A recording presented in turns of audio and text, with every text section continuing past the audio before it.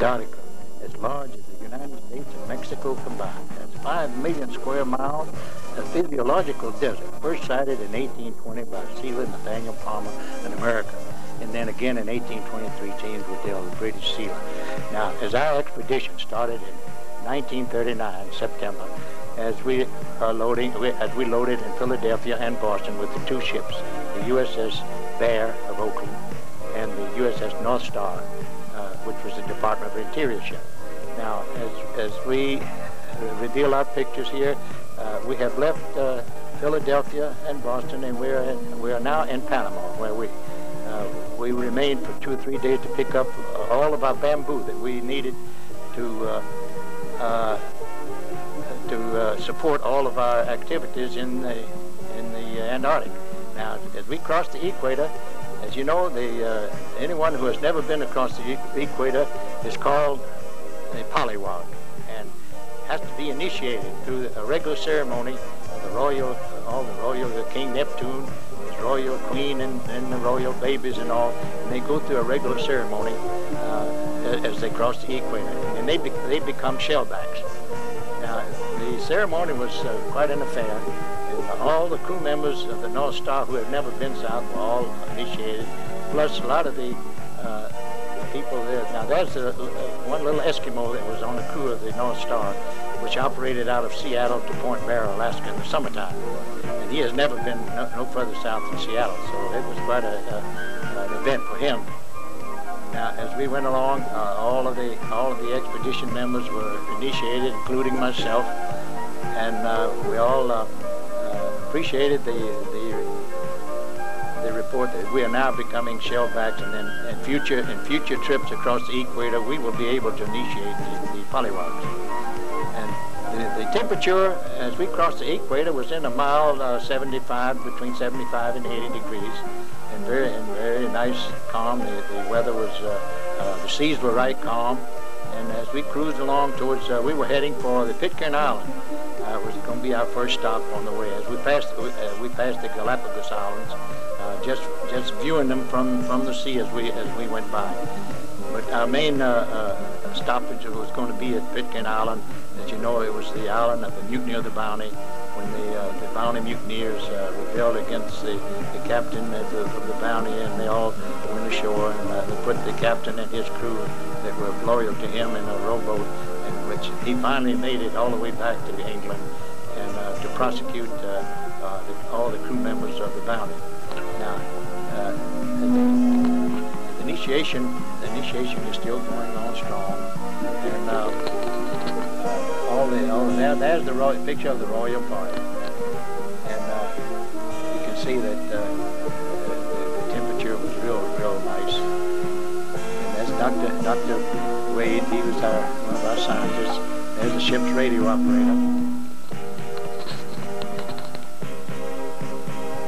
And the, the final initiation would be in the dunking of the, of the water. Now, as we proceeded southwest across the Pacific, Pitcairn Island, beautiful island. Uh, it, uh, it had about 185 people. They were all Seventh-day Adventists, and uh, they lived, as you can see, the the uh, uh, the island itself. There's only one entrance into the island, and you have to come through the uh, through the ice path, through the surf to get into it. And as you will see, the entrance there, the people that they keep keep their boats close to the edge, and they, they always pull them out of the water whenever they come in. Now, uh, there hadn't been a ship at uh, uh, at Pitcairn Island in about in about six, seven months due to the England England being at war, and New Zealand is the protectorate for Pitcairn Island.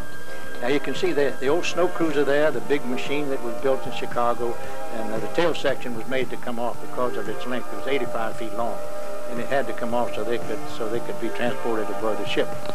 Uh, now, Pitcairn Island uh, uh, has uh, the people that were Seventh-day Adventists, very religious people, all their names were either Christians, Adams, or I think the total, all of the population either had a Christian or Adam name.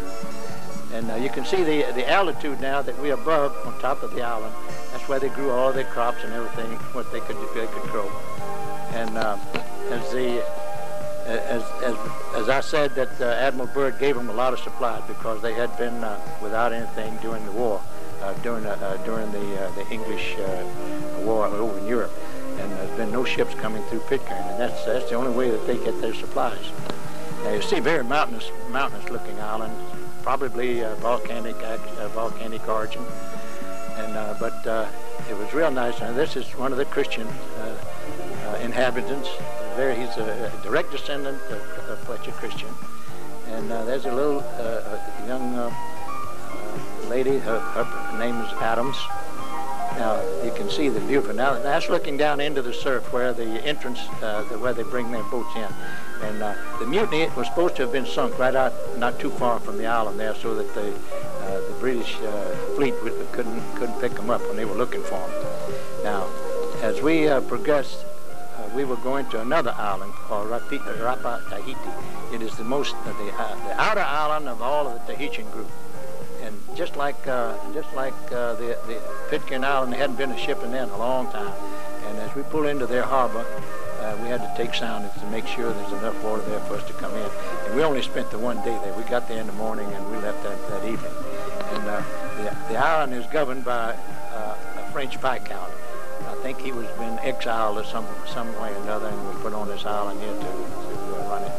And uh, not very many people. I think uh, uh about 150 population, and uh, very primitive. And uh, they're still living in grass shacks and everything. But the, the island itself is all volcanic. You can see the the, the origin of the, the volcanoes all around the whole island. And you can see as we as we approach there, the people were very friendly. And they all spoke the, uh, Polynesian and French. And uh, see that they greeted all of us as we came ashore just for just for a visit. And our main stop was going to be uh, in Wellington, New Zealand, as we had to stop in and pick up our, a lot of our supplies. And uh, you can see that's, that's that was the, about the only brick building plus the church uh, of the whole island. And the rest of the people all lived in grass shacks. And uh, so they were they were very they haven't had cigarettes in a long time, so we offered them cigarettes. And, uh, and you can see I'm giving them a, a nice cigarette there to, to, enjoy themselves. Now there's Admiral Byrd a meeting with the French Viscount. And uh, that, that's the main street of the island. It's called Tahiti Rapa. And uh, this is the Viscount in the, in the brown jacket with Admiral Byrd. And there's uh, myself and uh, Zaidi Carter, the other the marine engineer that was with us.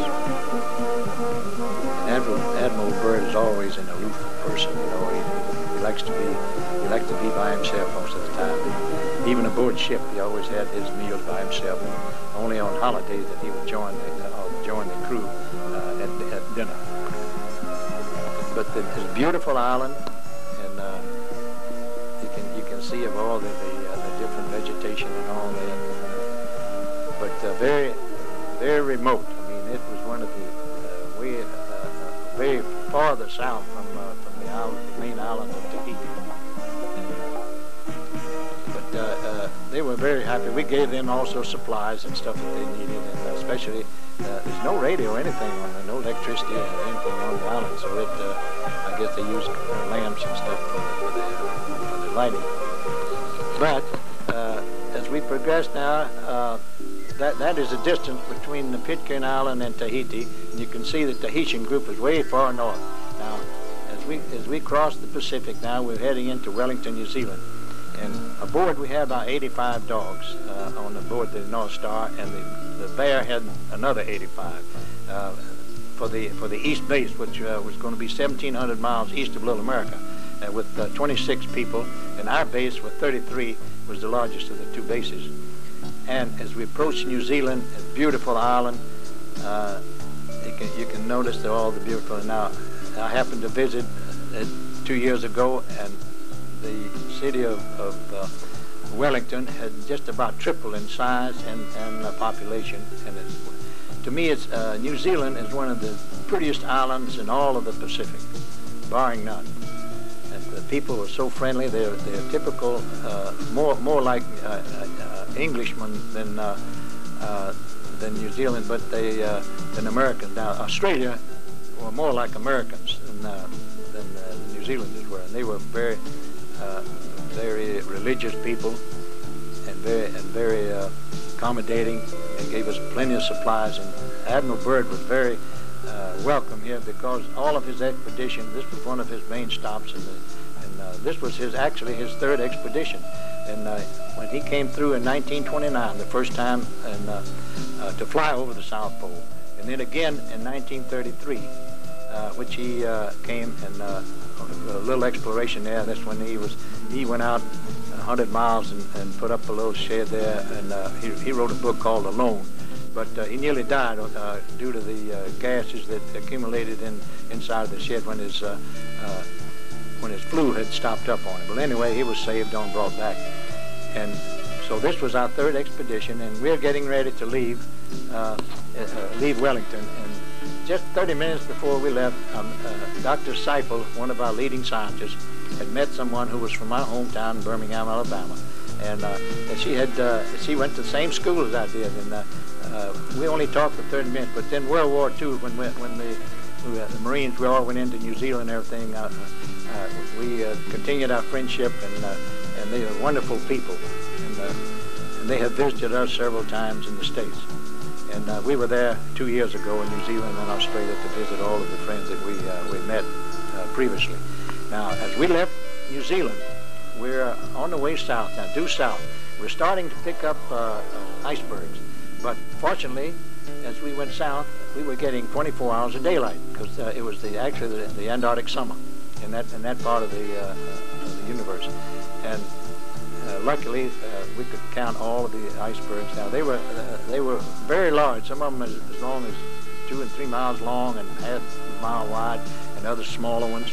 But they would drift on south until they finally would break up and uh, eventually would turn over uh, uh, in the water, and they were called castlebergs then because of the, of the pikes uh, underneath the water. Now this is the old Bear of Oakland. she's our other ship. The, she had sails and diesel, and I think her top speed was eight knots. And she rolled and rolled and rolled. We call her the roly-poly bear. But uh, she was uh, over 100 years old, and uh, she was a bark and had quite a history in her.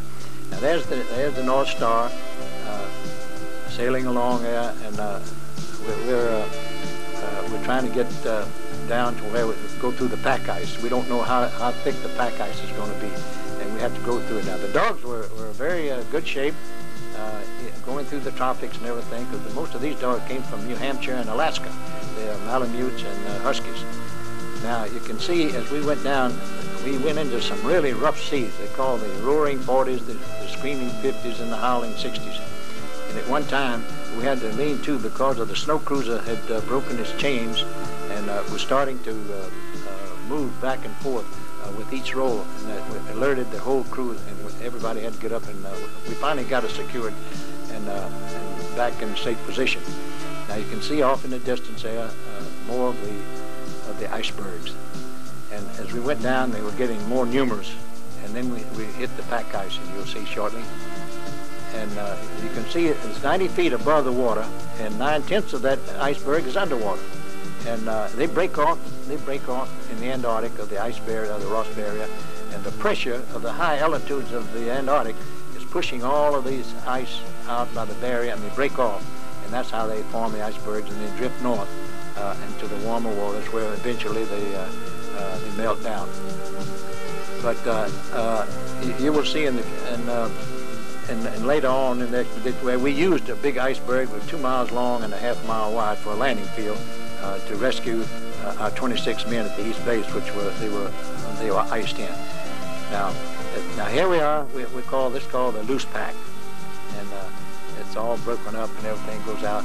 And uh, uh, we had uh, aboard a Norwegian ice pilot who guided ships all up north through all the ice packs and uh, the, the uh, American government uh, hired him to, to help us going through the ice pack. And he watches the skies. You can see up ahead, uh, black, uh, where there's open water, uh, the first penguins that we ran on one of the one of the loose packs, and those are the little adelies. They're the small penguins that uh, live out out in the open water most of the time. And as I said, the uh, uh, the ice pilot watches the skies, and, and, he steers for the darker areas in the sky. Now, wherever there's all white, that's solid ice, and you don't dare go that way. And, and later expeditions, some of the uh, fellows there, one of the planes there crashed because he went into the, he went over land uh, uh, where it was uh, real white, and there's no no visibility. And they crashed into a big ice mountain, and I think a few of them were killed. But that was the only uh, casualty they had, and uh, that was in later later later on expedition. Now you can see down as the bow of the ship as we're as we are cutting through the ice.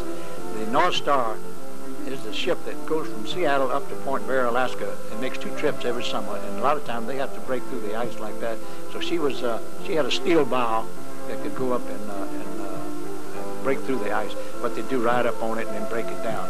Just, but uh, we were uh, unlucky. We didn't have icebreakers. As uh, later expeditions, all were were supplied with the regular icebreakers, and by the by the Coast Guard operated. And in fact one later expedition could not get to the Antarctic without the help of the icebreakers to break up the ice uh, because they had 300 miles of ice. We were lucky. We only had 75 miles of it, and a lot of it was. Once we got through the the, uh, the uh, pack ice, then we had open water all the way into the Antarctic, about 100 miles, which is all free free of ice, because most of the stuff all drifted north and, uh, and had open water. And you can see the size of the, the height of that ice uh, breaking off. Now we're coming in close to the pack ice. Now you can see uh, New Zealand off to the left there, and this, uh, uh, there's Little America, and there we're, we're, going through the pack ice. This is this is still again uh, the, the, loose pack, and the temperature at this time is around in the early uh, down in the lower 30s, uh, between 35 and 37, and I mean 25 and 27, and then uh, as we went closer, as we got closer into the Antarctic, though, the, the weather got down in the 20s. That's the summertime of the uh, Antarctic summers. And uh, uh, the average temperature of the summertime was uh, between 25 and 30 degrees. that was the average summertime. But the winter is something different. We had as low as 78 below at Little America, where we were stationed. But they have they have registered temperatures near the pole itself uh, over over over 100 degrees uh, below zero. Now there's a lot of the, sleds that we put together on the way down uh, to be used to carry all of our freight from the ships up to the uh, up to the uh, base at Little America. Now this uh, America, Little America, was actually the third American base. It was built on a flat ice where Admiral Byrd had built his in, in, down into a congested area, and as, as we tried to go over to find uh, we, we, went down in the, the old Little America of, 19, uh, of 1929 and 1933, and they were all crushed up by the ice. The pressure ice had just crushed them all up. But we managed to get down and get a few souvenirs from uh, Admiral Byrd's old, old uh, uh, place there. And, but Dr. Siple decided to put his base at on top of the Ross area, about three and a half miles from the Ross, from the bay ice.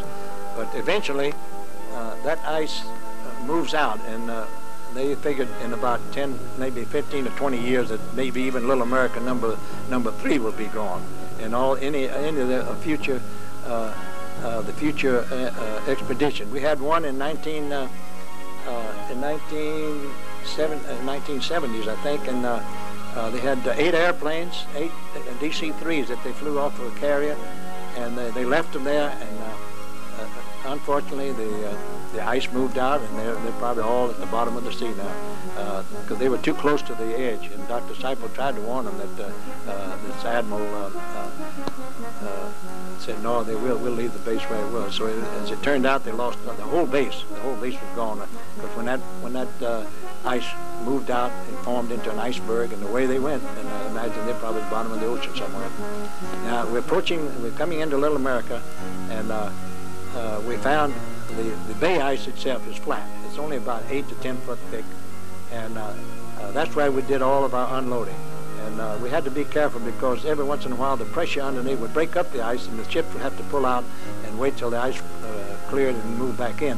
But we had to move it uh, all way. We never never kept any of the, the freight on the flat ice. We took it and, and hauled it up about a quarter of a mile up on top of the uh, the uh, the Ross the Ross Shelf, which was about eight nine hundred feet above, I mean uh, about uh, 90 feet above the water, and therefore it was the, the it was solid ice up there, and that's why we built Little America number three. You can see now you see the height of that from the ship alongside.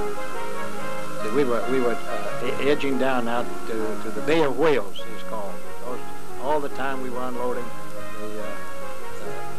whales all played all around in the bay there. You could see them diving and coming up and roaring. Uh, now this is the pack ice. This is the bay ice. As you can see now, we're getting ready to unload. And uh, as they pull up and we tie down, uh, putting all of our anchor, the, uh, the dead the dead anchors there to hold the ship. And uh, uh, always here comes the old Bear of Oakland there. She's uh, the old wooden ship there. And, uh, during one of the when the uh, few snowstorms that we had, usually it's a blizzard, but never never a little snowstorm like like like was pouring down now. But uh, I guess uh, near the water there, probably the, uh, uh, the moisture causing the snowflakes. Now, that's the Ross area runs 600 miles between Little America and all the way across into McMurdo, where we, uh, we now have an American base there. And there's the sleds all coming off now, getting ready to uh, load up all the uh, the freight coming off of the North Star and also the Bear. Now, and uh, all of our freight and stuff's coming off, uh, getting ready to load up. Now there's my little Beechcraft, uh, the one that I had picked up uh, at Wichita. That is the one that's supposed to ride on top of the snow cruiser. And we were supposed to go from Little America right to the South Pole. And I was supposed to do all the flying uh, uh, around the pole, around the South Pole itself and uh, do all the mapping. And, uh, and as it turned out, uh, the, the big snow cruiser failed. It, uh, it just didn't have enough power. And, uh, and luckily, after seeing the territory that I was that the snow cruiser was, uh, was supposed to go, we, we, we never would have made it because of the uh, some of those crevasses were 100 feet across and bridged over, uh, and uh, it didn't take much to uh, uh, to break through. And that's why we had. There's a lot of the sharks playing around. Now that's the old Curtiss Condor. We had two of those. One at our base at, at, at, Little America and the other one over at the East base. And we lost both of them. We never did bring either one back. Uh, the one at Little America there, just uh, uh, during our latter part of our explorations there, it lost an engine about 120 miles from Little America. And it was too late to try to take and, and do a, uh, change engines and everything, so we decided to leave. Uh, we we uh, took all the instruments out and everything. We just left it out there and imagine it probably blew away, tumbled up, and probably covered with ice. Now there's the old cruiser there. You can see we're getting ready to unload her. She was so heavy, we had a bridge there. She broke through the bridge that we built with steel uh, steel girders. We only had uh, enough for half of the uh, the bridge, but they made out. We, we were afraid that she was going to crash through the ice, but but the ice held up pretty good, eight or ten foot thick ice that uh, we loaded on. But the thing, it weighed 48 tons, so you can imagine. Now, it worked real good on the hard ice, but uh, you can see each motor had a 75 horsepower electric motor in it uh, on, the, on each wheel. Can see how far she sunk just on the flat ice. But after we got her up to the uh, to the uh, high ice up where the Little America, where the base was going to be, she, uh, she kept sinking down and just bogged down. Just didn't have enough power to uh, to really get it up and rolling. And the only, we found the only thing that, that was actually would work was a tractor type of uh, uh, transportation. And uh, so I know in the future, all of the expeditions, all that's all they had. everything was all tractor type. But we had one tank that the Army, we had a couple of Army boys with us that they brought the tank down for experimenting, and that's the one that they they found out that that's the only type of transportation they could have. And there's a lot, of seals there which was uh, uh, a main food supply for all of our dogs. And uh, we, we killed uh, th uh, 300 seals and, and, put put them down in the in the uh, in the tunnels there where the dogs were, so we could feed them for the whole year. And well, each seal weighed, weighed anywhere from 12, 1500 pounds, and it, it, uh, it, we had enough there to feed all the 85 dogs, and we'd give them a big, a big hunk of, uh, of uh, seal meat, which would we have to chop it with an axe because once it's down, it froze up. Now, after we'd done all of our early operations there, we finally had to start securing for the winter. And we are building hangars now for the two planes. And we build them out of snow blocks, just like you'd build an igloo. And uh, we built it up and then put uh, our bamboo poles that we picked up in Panama across the top with canvas, and then the snow did the rest. And uh, three months later, when we uh, we tried to dig them out, now you can see the, uh, there's the two hangars. And uh, we tried to dig them out. You'll see later. Now, as after we finished, everybody took a big hunk of ice. That was for our uh, uh, mess hall. And we would throw it down. Uh, our galley was underneath there, and that, that, was our drinking water and all, all of our cooking water. And we had a regular area that we kept very clean so that we uh, would be no uh, no pollution and everything. and there's no no no germs at all in the Antarctic. Uh, we even uh, they even tried tried to pick up uh, pollen, and they had a, a, an Electrolux uh, uh, cleaner uh, with with filters to try to pick up any pollen, but during the whole year, I don't think they picked up a single pollen anything. So you can see how clear that we had no, not a single sickness all the time we were there. Now this is a little slight blizzard. Now we got we got plenty of those, and uh, didn't take long for the blizzard there to cover everything up. So everything had to be marked with the, with the old bamboo poles that we picked up in Panama. And uh, now this is down in Dogtown, underneath the ice. And uh, each each uh, team had its own uh, canal there. Uh, the only one that would go would be the, the driver of the, of the teams. He's the one that fed them, and he took care of them for the whole year. And, and the temperature usually in the winter ran around 35 to 40 below. And but the dogs are we're very used to cold weather. You can see they all stay they stay there the whole time. Once in a while, one of them will break out and be quite a few fights there, but they but the uh, drivers will get down and, and uh, separate them and get them get them tied up again. Now this is in our, our main building that we had. This is our living quarters, and uh, that's where we did all of our, uh, our meals and our sleeping, and uh, we had all stove. Uh, we had coal stoves. we brought a lot of coal down with us. There's our film projector, and we had movies, and all of our bunks there. We had two tiers. Now these are clothes dryers. We come from the outside, covered with snow something, we, we shake them out and put our clothes on that and then pull them up to the ceiling where the warm air would dry, dry all of our clothes. Now this is in between the three buildings that we had. All of our supplies and everything was all stacked up there so, so uh, easily accessible to the, uh, uh, to the people. Now there's all of our movie films that we had we, got kind of tied up a little bit. Some of our movies went to the East Base, and some uh, and some of theirs went to our base. So, so after we got together, we had to talk to see what who, uh, how they made out. Now, this is some of the tests that we made with the with the old tank there, the Army tank. And uh, uh during the winter, this is in the daytime in the winter, with uh, total darkness, and we tried a lot of uh, temper the temperature around there around 58 to 60 below, and they did a lot of experiments on the surface we sent out a party uh, uh, to, to try out uh, uh, uh to observe the uh, Boreal, Borealis Australis, the, the, the, southern lights as they call them. And this is our third building, the machine shop, where we kept all of our machines, our lathes, and all of our working tools and stuff. And that, this is our washing machine to wash clothes. The only thing, you had to bring ice in and, and melt your water if you wanted to wash clothes to take a bath. Now this is our, our science room where all of the scientific uh, experiments were being carried on, and uh, and uh, course, a lot of us were guinea pigs. I know they uh, they did a lot of testing of us. Now, uh, as for myself, I came from uh, from the Virgin Islands, three years in Virgin Islands, and then went right to the South Pole, and they tested us uh, to see uh, about how how blood reacted. And uh, my blood took longer to freeze than some of the guys that were from Alaska and New Hampshire and Maine. So, uh, so the old the old story of my blood thinned out is uh, a lot of baloney. But anyway, uh, this is Ike Schlossbach, Commander Schlossbach, who's an old Navy uh, aviator, retired, and he's been on, on every one of the Admiral Byrd's expeditions in the north and also in the south. And this was his uh, about fifth or sixth expedition. Now we're starting our spring exploration. We're getting ready to dig out all the airplanes, and, uh, and uh, this is down in the tunnel there. To, to, uh, have to keep checking, you know, and I had I had a, a way to get into it so I could check my plane, make sure no damage anything from the ice. Now, this is inside the snow cruiser. Four of us lived there. Uh, Dr. Wade uh, uh, was our scientist, and uh, we had a radio operator and a, and a, mechanic engineer, a diesel engineer, and myself as the pilot. And and uh, we, we are the ones who were supposed to take off with the snow cruiser and head south right to the pole, and I'm supposed to do all the flying because they carried the plane on top of the uh, top of the cruiser.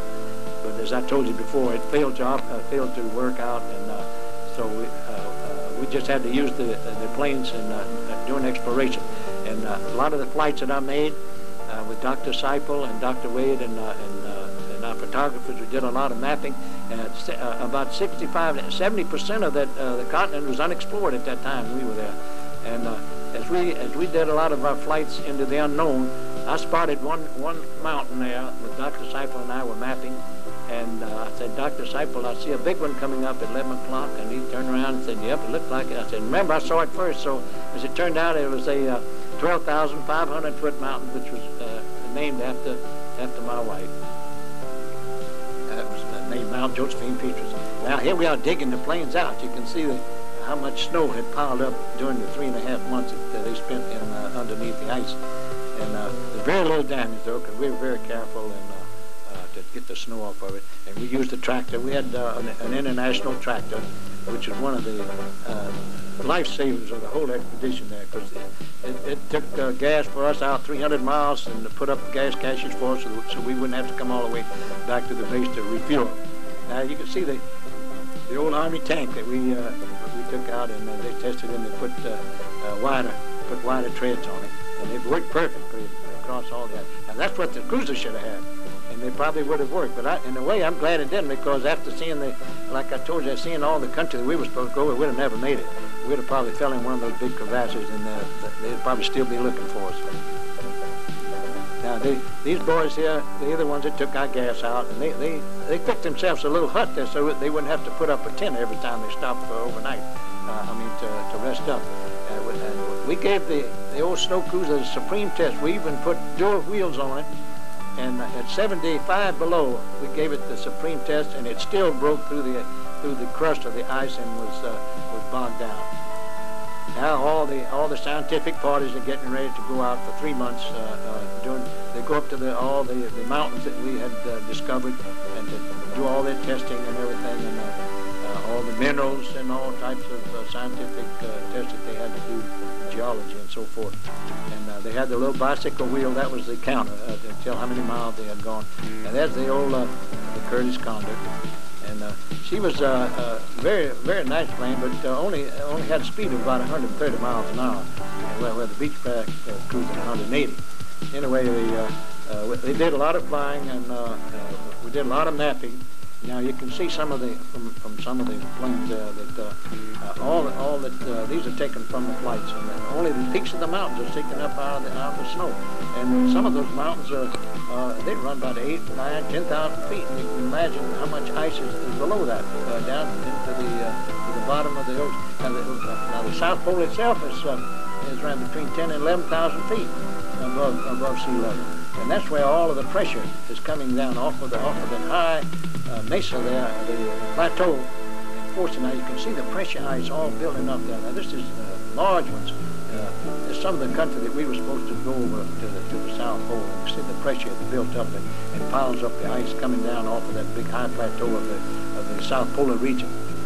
And uh, that's the ones that's forcing all the uh, ice out of the uh, Ross Barrier and break off and makes, makes the big, uh, uh, makes up the big iceberg, that Admiral Byrd taking the soundings all these mountains, a lot of them are still unexplored. And uh, uh, of course, we have them all on the map now. And I think up to now, I think they have about 80 or 90 percent of the Antarctic just about covered uh, without big McMurdo uh, McMurdo base over in uh, uh, 300 miles west of the, the old America. And they've just about covered. Even they've even had people go all the way across with with dog teams all the way across the Antarctic. Now this is on top of one of the mountains there where uh, we supplied them with uh, by plane, and we had to pick up uh, pick up the, uh, the specimens and everything, and then give them their supplies. The temperatures all around 30, 35 below uh, all the time we were uh, up there. So we didn't delay too long. We just it was quite high winds there. Anyway, we'd give them their stuff, and then we'd we'd take off and come on back, and I'll go to another base and give give. Uh, now here comes one of our old, old tank hauling all this, our supplies again. And uh, that, that, was one of the, that piece of equipment that we had. Now we're getting the end of our, uh, all of our uh, flight exploration everything and, and uh, getting time to go home. But we had to go over to pick up the other 26 men that were 1,700 miles away. But before that, three of us, uh, my, my, two mechanics there, uh, my airplane mechanic and my diesel engineer, decided to go fishing down. We, we heard there was some cracks in the ice and this is what we found. 170 emperor penguins uh, all grouped around, uh, I guess waiting to, to, go north. I don't know, they, they, probably just came in to rest up. And we sat, luckily I had my camera, movie camera with me, 16 millimeter, only black and white. And I sat in the center of them and taking all of these pictures. And they would come up and talk to me as if I was another type of penguin. And uh, after, after about an hour or so, we decided to try and take them back to the fishing was out. Because our lines would freeze up before we could even try to pull them out of the water. And so we decided to herd them, and uh, we rounded them up, and it took us it took us nearly seven to eight hours to to get them up to Little America, uh, about three miles away. And uh, by the time we got there, we only had 37 left. The rest was scattered, you know, and, and we couldn't chase them. Anyway, we, we ended up with 37 live ones in Little America, and uh, we put them in a compound. Now here, they, here they're supposed to be making love or something. I don't know. That, uh, now they say no, no, so they go away, and uh, he goes around till he finds somebody else that, uh, will sit there and go. Uh, and uh, these two evidently making out because they're not saying no, and uh, they're probably uh, picking their mates. But uh, the, the emperor is the only penguin that stays on the Antarctic continent the whole winter. They they they, they go into their rookery there and they have they lay their egg and they, they uh, during the whole winter and they stay up because they have enough fat on them to last them for the whole winter. And uh, they're the only ones that uh, uh, that, that remain on the continent and uh, finally eventually uh, when the summer comes they go north and breed and come back. Now, uh, we called the uh, we called the Smithsonian Institute, told them what are we going to do? We had 37 live penguins with no food for them. They and they said, well, the only thing is that uh, you, you'll have to kill them, put them on ice, and uh, we'll pick them up when you come back, and uh, we'll, we'll fix up a, a, South Pole display at the Smithsonian, which they did. And we brought them all back, and the Smithsonian picked them up. But it was quite a feat, though. Dr. Dr. Frazier, our, our surgeon, he showed us how it took four of us uh, kill each one but we had to be real careful not to not to tear the, skin up. And so he showed us exactly what to do, and it, it took us about three or four hours to kill all 37 of them. Anyway, they, they, uh, uh, some of them, uh, uh, we had a couple there that we, uh, we tried to eat the meat, but they were very, very fishy, and uh, so we keep this, especially with seal meat. They, uh, they tried to uh, feed us seal meat one day a week to try to help on the food supply, but uh, that's the day that uh, I tried it one time, but uh, I just couldn't stomach the uh, fishy taste of the seal meat, so I would have scrambled eggs on that day. Now this is at the top of Little America. These these are the 37 that we finally herded up, and uh, see they're very. You can see they, how they try to hit you with their flipper. They weigh uh, they weigh about 85 pounds, and uh, they run three to three and a half feet tall, and uh, that's really. Uh, get ready to put them in the compound. Now here comes, uh, we're getting ready to go home now. It's time to, pack up, uh, go over to our, try to pick up our other uh, 26 crewmen over at the East Base, 1,700 miles away. And uh, we, we started loading up, and we tried to get a few seals and, and penguins to, to bring home, but they, they were very scarce at that time. As the North Star came in and brought us all a lot of mail and stuff. And, and there's our, the, the, the, uh, the greeting, the, the greeting committee, always there whenever they come in. A little Adélie penguins.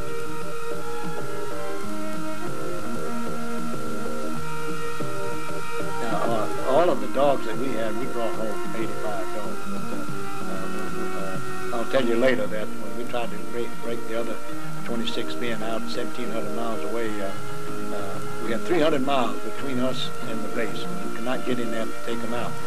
We had to fly them out with the only last condor we had, and that's when we found this big iceberg. It was two miles long and a half mile wide, and we used it for a landing field for the uh, for the crewmen. Now here we are trying to pick up a few a few seals, but uh, they, they they never uh, made out because they wouldn't eat anything, and we finally had to, uh, to dump them out. Uh, the dogs uh, that they had, they, were, were a problem. They what should we do. Well, you can't leave them. We can't leave them. So anyway, the, the plane came up and flew uh, half of the crew on this island, and then went back. And, uh, and I'll tell you later that they set up uh, uh, all the, explosives they had and put all the dogs they had on this one big platform and set a time bomb to go off about uh, four hours after they took off. Because it was only about an hour and a half, two-hour flight to the uh, to the island, and they would, in case the weather closed in, they couldn't get back. They'd have to go back. Now this is a sea leopard, one of the uh, dangers of the Antarctic. They they they feed on seals and penguins, and uh, they're very large. They weigh about uh, 1,500, 2,000 pounds. They're about 10 to 12 feet long, and they they have uh, a mouth just like a big snake, uh, teeth it, and that's where they they, they can go underneath the ice and try to dump it to dump a seal over, and they, they'll come up and grab seals off of the ice. Now, this is when we got ready to come out, we had to come out to the Antarctic Circle, and then, and then go all the way around the Antarctic Circle. To, as we come around like this, we had to stay there all the way around 1,700 miles uh, to our other base, which is below South America. That's part of the Antarctic, which, uh, as I told you, it was as large as the United States and Mexico combined. Anyway, as, as we came around the Antarctic Circle and uh, below South America, and we went into our, we tried to get into our base there, and I told you that we had 300 miles of ice into the base. And uh, we couldn't, we waited for 30 days. And finally the ice was getting bad, uh, getting ready to even close us up. So they told, well, you can, you can see the area of the Antarctic. Now this is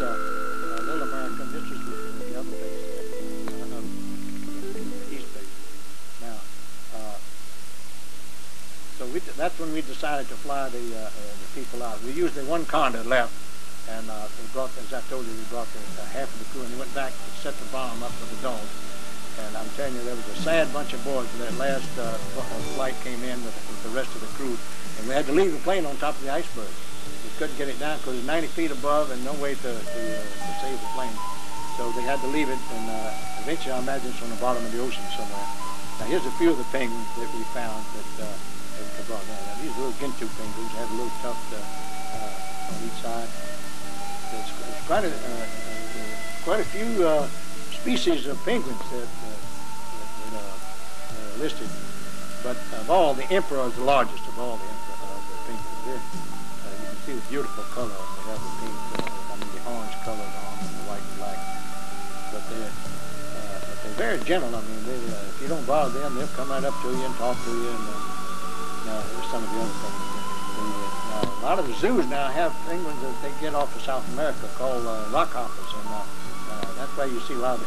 And uh, some uh, some of the zoos now have uh, some of the emperors now. They have the, the first bunch that we uh, they, they tried to uh, bring back, but didn't live very long in the, in uh, uh, artificial uh, uh, quarters that they had, you know, with the ice and. But uh, they lived maybe one two years, and then they would all die out. But now I understand in San Diego they have quite a quite a, a, a big display of emperors and all types of penguins, and they have the the uh, the uh, the area that they have is just similar to the ones in the Antarctic, so they, uh, the temperatures and so forth. Now this this is some of the pool that we tried to bring back. Uh, we fixed up a little, little pool for the penguins, in. but uh, they wouldn't feed. We couldn't feed them, so uh, eventually some a lot of them died. And this is why we were waiting for 30 days in the area about 300 miles from Little America, and, and this time we tried to lasso a, a, a sea leopard, and which it turned out to be a mistake. Now this is on, on the bear, on, uh, the Bear of Oakland. And, uh, we were waiting, waiting, and waiting, and then finally, that's when they flew the people over. But uh, I tell you, it got so bad that we thought we were going to be snowed in and we'd be stuck for another year. and uh, as it turned out, we luckily, uh, after we got the crew out of the, uh, out of the now this is Admiral Byrd's uh, seaplane that he took down with him just uh, on the way down, and he took it right back to the States. He didn't leave it down there. And uh, it, it's called a Barkley-Grow. I don't think it was a very more, mostly an experimental airplane. Now this uh, uh, uh, East Base was real mountainous there. They had a lot of mountains, and, uh, and but the weather there was a lot warmer than the Antarctic. Uh, but they had higher winds. Oh, they had uh, gale winds up to 70, 80, 90 miles an hour sometimes. And uh, that's where all the whalers uh, would, would uh, go in and pick up their fresh water uh, from on top of the mountain lakes, you know, and stuff. They run hoses down. That's another sea leopard. We try, we try, that's the one we had lassoed. we finally had to let him go. Look at those teeth, uh, the size of that. Imagine that trying, trying to get after you. And, but uh, uh, we killed about six or seven of them to try. There's one getting, uh, just looking at you, I mean, uh, uh, with the evil eye. Now, this is beautiful, beautiful settings there at, at, uh, at our east base, uh, with all the high mountains there with the snow covers on them and everything. Finally, uh, uh, we, we finally had to get out of there we, uh, after we rescued all the guys from the uh, and uh, uh, the uh, um, uh, uh, the Spanish expedition went through there uh, from uh, from South America about seven eight years later, and they found no trace of the dogs that uh, uh, that they had put uh, under the on, top of the explosives They had to kill them. They, to put them away, so they couldn't leave them there because they would kill each other. There's no food for them and where they were, and eventually they would all die. So the, the most humane thing to do was to kill them. Here we go, getting ready to come home, and, and starting to We put the little Beechcraft away, and we thought we might have to use it to go after the after the people, but uh, luckily there was no place uh, lower than 90 feet that we could get on and get to. So that's why that's why we had to leave the the, uh, the Curtiss Condor on top of the big iceberg. We luckily finally just barely got out of there with all the ice moving in, and uh, it was an anxious moment for about 24 hours of us uh, breaking through all this ice trying to get out of there before we got blocked in. And we finally we finally got into Punta Arenas, Chile. Uh, that's why both the ships we both met there, and uh, and uh, a lot of the crew. One ship was going to go to the east coast and one to the west coast, so uh, we parted company there. And the Bear, I was on the Bear coming to Boston, and uh, she was an old ship. It used to be a coal, a coal, uh, treated by coal. And anyway, a lot of the dust was still in that. We all walked around with coal dust all over. We were lucky when we got home to take a good clean bath. But uh, but as we came in, we stopped. We made two stops in Rio in, uh, in Buenos Aires for a couple of days, and then to Rio de Janeiro for two days. And we finally eventually wound up in Boston. where Admiral Byrd went okay, and uh, as if as if he had been uh, uh, uh, uh, with the expedition the whole time. That that's it. I hope you all enjoyed it, and uh, be glad to show it again.